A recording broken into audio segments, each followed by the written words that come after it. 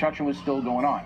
Slaves that worked there were well fed and had decent lodgings provided by the government, which stopped hiring slave labor in 1802. However, the feds did not forbid subcontractors from using slave labor. So Michelle Obama is essentially correct in citing slaves as builders of the White House, but there were others working as well.